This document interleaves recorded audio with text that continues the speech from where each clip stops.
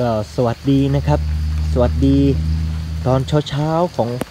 วันที่สายฝนนั้นโอ้โหชุ่มฉ่ำโปรยปลายซะเหลือเกินนะครับ ช่วงนี้ยังอยู่กับพายุหินหนามหน่อนะครับ หลายพื้นที่ท่วมแล้วนะครับ ของจังหวัดเลยก็หลายพื้นที่นะครับ ท่วมแล้วก็กำลังลุ้นกันว่าในตัวเมืองเนี่ยจะท่วมหรือเปล่า เพราะว่าแม่น้ำเลยก็ล้นตลิ่งแล้วนะครับเมื่อเช้าสัก7จ็ดโมงเช้าเมื่อเช้านะครับ พื่อนของคุณแม่ที่ทำสวนป่าเหมือนกัน ก็อยู่ห่างจากสวนผมนี่ประมาณสัก 5-6 กิโลเมตรนะครับ แต่เขาอยู่พื้นที่ลุ่มต่ำหน่อย แล้วก็อยู่ริมห้วยนะครับเขาเรียกห้วยยางก็ส่งรูปมาให้ดูเยอะแยะเลย โอ้ท่วมท่วมมากเลยที่สวนเขาก็น้ำท่วมบ่อเลี้ยงปลาทุกบ่อนะครับอของผมมันโชคดีหน่อยนะครับ อยู่พื้นที่สูงแล้วก็เป็นต้นน้ำนั่นแหละ น้ำหลากลงมาจากภูเขาอ่ามันก็เป็นภูเขาเทือกเดียวนะครับที่นี่ ก็ไหลลงมาก็ผ่านสวนผมนี่แหละ ลงไปสู่อ่างเก็บน้ำด้านด้านล่างนะครับ แล้วก็ ไหลลงห้วยลงหนองไป ที่สวนผมก็แค่เป็นทางผ่านน้ำนะครับ ไม่ท่วมนะครับ บ่อเลี้ยงปลาก็ยังเหมือนเดิมนะครับ เพราะว่าน้ำไหลออกด้านข้างนะครับ ไม่ไม่ได้ไหลลงบ่อเลี้ยงปลานะครับ ส่วนพื้นที่ลุ่มต่ำก็ก็ท่วมกันหลายจุดก็ ขอให้ปลอดภัยกันแล้วกันเนาะ ตรงไหนที่ลุ่มต่ำก็เก็บข้าวเก็บของนะครับ ถือว่าเป็นของธรรมชาติเนาะเราก็หลีกเลี่ยงเลี่ยงไม่ได้อย่างว่าแหละ ในกรุงเทพก็พื้นที่หลายที่นะครับ เริ่มท่วมกันแล้วอะคลิปนี้นะครับ เดี๋ยวมาดูต้นไม้อีกสักชนิดหนึ่งนะครับ ถือเป็นผลไม้ป่าไอตัวนี้ก็ยังไม่ได้ทำทำคลิปเกี่ยวกับมันจริง ๆ จังๆเลย ว่ามันเป็นอย่างไรนะครับ ชนิดนี้ในสวนผมเนี่ย มีปลูกไปไม่ถึง 10 ต้นนะครับ ที่เหลือเนี่ย ธรรมชาติปลูกให้นะครับ มีประมาณสัก 40-50 ต้นนะครับ ต้นใหญ่ ๆ แบบนี้ ไม่ได้ปลูกนะครับ มันเกิดขึ้นมาเองตั้งแต่ยุคปลูกสวนอ่าปลูกต้นไม้แรกๆนะครับ ก็อาจจะเป็นนกนั่นแหละกินมาเพราะว่านกก็ชอบกินผลของเขานะครับ นกกินมาสัตว์ป่ากินมาขับถ่ายลงก็เกิดเป็นต้นนะครับ เป็นหนึ่งในไม้ที่เขานิยมนิยมนิยมปลูกประดับบ้านเรือนนะครับ เป็นไม้ขุดล้อม ต้นใหญ่ๆเนี่ยลำต้นเขาจะดำสวยนะครับ เขาเรียกว่าต้นตะโกนะครับเอาดูใบเขาหน่อย ต้นตะโก ใบเขาประมาณนี้นะครับ เดี๋ยวพาไปดูต้นอื่นๆด้วยต้นนี้ติดลูกแล้วนะ เป็นลูกแล้วปีนี้ แต่ว่าหล่นหมดแล้วแหละ นกชอบกินนะ ก็ถือว่าเป็นไม้ที่เกิดได้ทั่วไปนะ พื้นที่โคกๆดอนๆก็เกิดได้อะเดี๋ยวไปดูโซนนู้น เป็นต้นไม้ที่ผมที่ผมปลูกจริง ๆอะก็แค่ไม่กี่ต้นนะครับ ก็เพื่อว่าเอาไปไว้ในโซนที่มันไม่มีนั่นแหละ เพราะว่าหนึ่งเลยคือว่าลำต้นเขาสวยอ่าสวยสำหรับเป็นไม้ประดับนั่นแหละ แล้วก็ใบเขาไม่ผลัดใบฤดูแล้งนะครับ มันเหมาะมากเลยที่เราจะไปปลูกใกล้ๆโซนที่เราจะสร้างบ้านเรือน หรือว่าสิ่งปลูกสร้างต่างๆนะครับ เพราะมันจะสร้างความร่มรื่นให้จุดนั้นนะครับ ร่มเงาเลยแหละ แล้วก็ปลูกบังบังแสงแดดบังแสงแดดได้เลยเอาเป็ดก็ร้องกราบๆแล้ว เดี๋ยวค่อยไปปล่อยนะถ่ายคลิปนี้ก่อนเอามุมนี้น่าจะมีสักสองต้นนะ ต้นไม้ก็เล็กใหญ่ปะปนกันไปแบบนี้นะครับ ปลูกหลายรุ่น ให้มันได้บรรยากาศเหมือนป่านะครับ บางต้นปลูกหลังๆเขาก็โตก่อนเขาแล้วอ่านี่ต้นนี้ต้นนี้ต้นหนึ่งเพราะว่าจะต้องมาแต่งกิ่งเขาหน่อยนะเนี่ย เอาออกสักหน่อย จะได้เดินสะดวกโอ้โหขึ้นไปนู่นนะครับเนี่ยก็เกิดเองนะต้นนี้ รู้สึกว่าเขามีอยู่มุมไหนอีกอะวันนี้นี่อีกต้นหนึ่งอีกโซนหนึ่งอะเต็มเลย หลายสิบต้นเลยโซนนั้นเป็นสิบยี่สิบเลย นี่ก็อีกต้นหนึ่งนะครับ เนี่ยมันเนี่ยต้นสักต้นนี้ผมปลูกนะ ปลูก แต่มาเกิดข้างๆเนี่ยผมก็ไม่ได้ตัดเขาออกเลยก็ปล่อยตามธรรมชาตินี่ต้นธรรมชาติปลูกให้นะครับต้นนี้ ก็ปล่อยเลยแล้วอาจจะต้องมาเลียมๆกิ่งตรงนี้ออกจะได้เดินสะดวกนะครับตรงนี้เขาขึ้นไปนู่นไปแตกกิ่งก้านสาขาด้านบนอะพอเกิดตรงนี้ก็ปล่อยให้มันอยู่ตามธรรมชาติแบบนี้เลยอะเดี๋ยวเดินไปดูต้นอื่นๆโซนนู้นนะครับ จะได้ดูดูด้วยว่าโซนนั้นน้ำมันหลากเยอะหรือเปล่า ไม้ตะโกนะครับ ก็ถือเป็นหนึ่งทั้งในไม้ประดับสวยลำต้นสวยนะครับ ต้นโตๆเนี่ยโหดำเมี่ยมเลย ส่วนเนื้อไม้นั้นไม่ทราบเช่นกันนะครับ ว่าเขาเอาไปใช้ประโยชน์อะไรหรือเปล่า เพราะส่วนใหญ่ก็เห็นปลูกประดับนั่นแหละ ผลของเขานะครับกินได้นะครับ คนก็กินได้ บ้านผมเขาจะเรียกว่าตำบักโกนะครับตำใส่เปรี้ยวๆหน่อยเพราะว่าผลดิบเขาจะฝาดนะครับ ดูดิตัวนี้ เกิดข้างกับต้นมะค่าต้นมะค่านี่ปลูกนะครับ ต้นหูหูขึ้นไปสูงใหญ่เป็นสิบเมตร ต้นนี้เกิดข้างๆก็ปล่อยเลยเขาอยากอยู่ก็ให้เขาอยู่ไป ผลดิบกินได้ไปตำทำเมี่ยงทำอะไรได้นะครับฝาดๆแต่ต้องใส่เปรี้ยวเข้าไป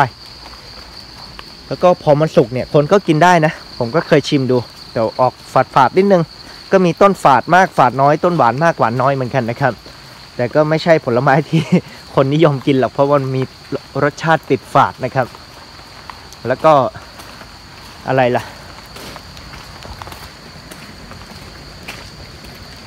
นกอ่าสัตว์ป่านกชอบกิน นกชอบกิน นอกจากนกแล้วกระรอกกระแตแล้วก็อีเห็นนะครับ อีเห็นข้างลายชอบมากเลยตะโกเนี่ยก็จริง ๆ มันก็คง คงไม่ได้ชอบมากหรอกมั้ง แต่ว่ามันอยู่ในป่ามันมีผลไม้อะไรสุกมันก็คงต้องกินไปอะเนาะแต่ว่าอีเห็นข้างลายชอบต้นไหนที่รสชาติไม่ฝาดมากเนี่ย มันก็กิน โอ้ตัวนี้ถือว่าไหลไม่แรงเท่าไหร่นะดูดิมีปลาด้วย เออไป ฝนตกตั้งแต่ตีสามนะครับ ที่แรงๆเนี่ย ตกไปปลอยแบบนี้ทั้งคืนแล้วก็มาแรงๆเนี่ยสักช่วงตีสามตีสี่นี่แหละ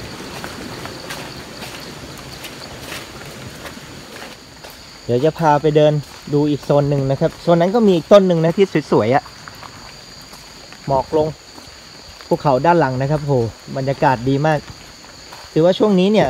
ช่วงปลายฝนต้นหนาวแบบนี้นะครับ เป็นช่วงที่ ฝนตกมาแบบนี้แล้วจะเกิดหมอกนะครับ ปกคลุมโอ้สวยมาก แต่ว่าความสวยนี่ก็มากับช่วง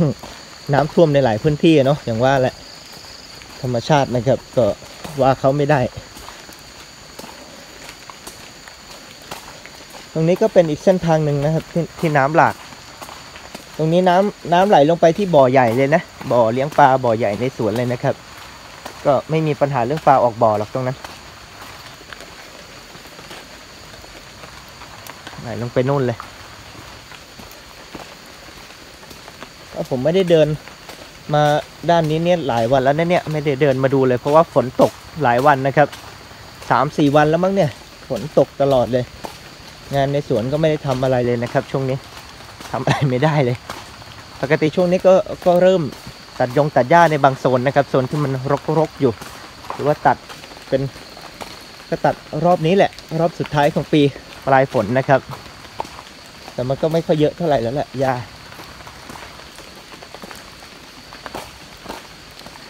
โอ้เสียงน้ำหลากงานนู้น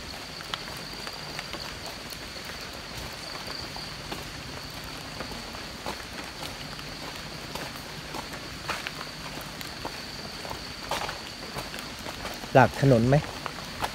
หลากไม่มากตรงนี้ น้ำมันระบายไม่ทันนะครับ คือมันล้น ล้นบ่อเลี้ยงปลาเข้ามาก็หลากข้ามถนนเลย ทางอบตมาดูรอบหนึ่งแล้วนะครับ น่าจะงบประมาณว่าปีหน้าหรือเปล่า เขาจะทำเป็นที่ระบายน้ำเป็นแบบบล็อกคอนเวิร์ตนะครับ อาจจะใหญ่หน่อย อาจจะระระบายน้ำทันนะครับ ก็อาจจะต้องเสียสละต้นไม้ไปต้นสองต้นก็ไม่เป็นไรเพื่อส่วนรวมนะครับ ตรงนี้มันลากถนนเนี่ย ถนนใกล้จะพังแล้ว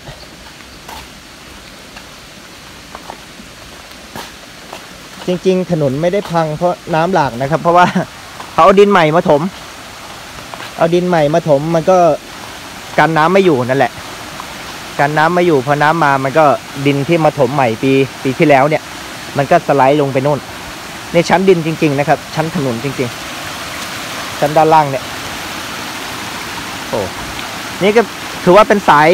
สายน้ำที่ใหญ่ที่สุดนะ แต่ไม่ได้ไหลลงบ่อปลาเลย ไหลลงทุ่งนาก่อนตรงนี้ ไหลลงทุ่งนาเดิมนะครับ พื้นที่ประมาณสักไร่หนึ่งซึ่งอนาคตก็อาจจะกลายเป็นพื้นที่เดียวกันกับบ่อเลี้ยงปลานั่นแหละ แต่ทำเป็นที่รับน้ำไว้นะครับ ตรงนั้นก็ทำนาไม่ได้นะท่วมแบบท่วมระดับหัวเลยแหละ เพราะว่าผมกั้นกั้นคันคูขึ้นนะครับ เป็นที่รับน้ำดูดิหลากมาจากบ่อที่สวนสวนของเพื่อนบ้านนะครับข้างๆกันบ่อเขามีอยู่สามสี่บ่อเลี้ยงปลาไม่ได้เลยหลากแบบนี้ตลอดเลย เอามาดูต้นตะโกเราดีกว่า นี่ต้นนี้สวยมากเลยนะผมว่านี่ มันเกิดข้างๆเขาข้างๆต้นพยุงข้างๆต้นผมก็ปล่อยเลย ต้นพยุงพยุงก็โดนบีบนิดหน่อยนะครับ ก็ไม่โตก็ไม่เป็นไร หลายคนอาจจะคิดโอ้โหเสียดายเกิดข้างต้นพยุงตัดทิ้งเลยเอาต้นพยุงไว้สำหรับผมแล้วก็ไม่เป็นไร ให้มันอยู่แบบธรรมชาตินี่แหละโอ้ดูดิพอ ต้นยิ่งโตนะครับลำต้นเขายิ่งดำนะครับ แตกจริงขึ้นไปก็ปล่อยตามธรรมชาติเลย โอ้ สวยงามดี ผมชอบตรงที่ว่าใบเขาร่มเงาดีนี่แหละกับต้นเขาดำสวยนี่แหละ ต้นตะโกนะครับ เดี๋ยวถ้าปีหน้ามันติดผลติดเมล็ดเดี๋ยวจะเก็บไปแบ่งปันนะครับ บางพื้นที่อาจจะหายากเนาะเมล็ดมันตะโกตะโก ต้นนี้ยังยังไม่ติดหมากติด ผลนะมีต้นต้นแรกแหละที่พาไปดูนั่นแหละที่เป็นหมากเป็นผล แต่ถ้าบนภูเขาเนี่ยโอ้เยอะมากนะครับที่ที่เนี่ยภูเขาโซนเนี้ยเยอะมาก